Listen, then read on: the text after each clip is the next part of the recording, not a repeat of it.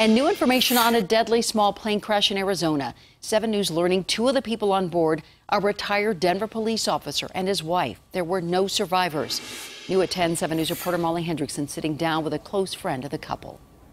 Yeah, Michael Hughes seen here taught gun safety. Now, this is their website, Raven Company, that he and his wife owned. You can see it was a company dedicated to training in the carrying of a concealed handgun and the safe use of firearms.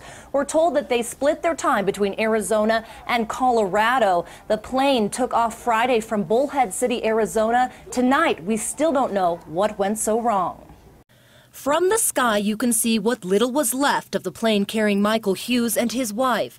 Witnesses say the Cessna 340 clipped some trees while flying over northern Arizona, exploding on impact. At first, you're hoping that mm, maybe there's a mistake. Sergeant Virginia Quinones is an old friend of the couple, working alongside Michael until he retired as a lieutenant from the Denver Police Department in 2007. In every area he worked, he made friends. He made those close relationships. Hughes was a retired major from the U.S. Army Reserves. He had a passion for guns, teaching firearms training, but it was his wife, Joy, who had his heart. These two were inseparable.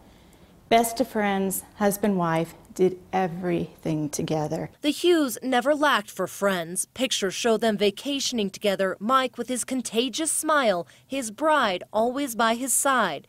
It's those memories Quinones will miss the most. The last text from Mike was, so hey, where are we going to go next year? That's the thing that is kind of hitting us that we won't. It was nice that we had the times together that we did.